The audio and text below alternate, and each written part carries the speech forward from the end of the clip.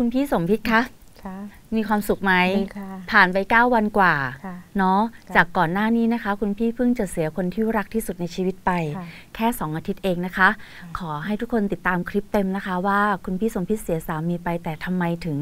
ตัดสินใจที่จะไม่ล้มเลิกความตั้งใจค่ะในการให้รางวัลตัวเอง เพื่อต่อยอดชีวิตหน้าที่การงานทุกสิ่งอย่าง แล้วทำแล้วมันดีขึ้นอย่างไร ไม่เฉลยตรงนี้เนาะค่ะต้องไปตามคลิปเต็มเอานะคะ โอเค ดูดีขึ้นเยอะเลยนะคะ ใช่ไหมใช่ค่ะมีคนชมบ้างยังตอนนี้มีแล้วค่ะ มีแล้วเยอะไหม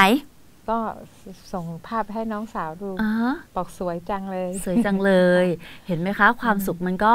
ความสุขรอยยิ้มเสียงหัวเราะมันก็ออกมาได้นะค่ะนะ ทั้งที่ใจเรายังทุกข์อยู่ แต่มันก็ลืมทุกข์ไปได้เยอะจริงไหมคะจริงค่ะเราต้องใช้ชีวิตต่อไปค่ะดูคุณพี่สมพิษไว้เป็นตัวอย่างนะคะว่า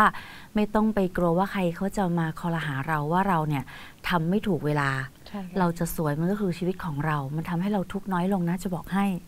ขอให้กำลังใจทุกคนกับคนที่เสียคนรักในครอบครัวไปเนาะใช่ค่ะอย่างพี่สมพิษนะคะ เห็นไหมยังมีรอยยิ้มได้เลย อย่าอยู่กับความทุกข์อย่าอยู่กับน้ำตาใช่ค่ะลุกขึ้นมาลุกทำขึ้นมาให้ตัวเองมีความสุขใช่ค่ะแล้วมันลบล้างกลบเกลื่อนความทุกข์นั้นไปได้นะใช่ใช่ค่ะโอเค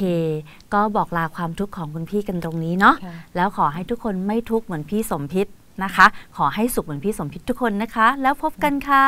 สวัสดีค่ะ ฉลาดสวยต้องดรเซปิง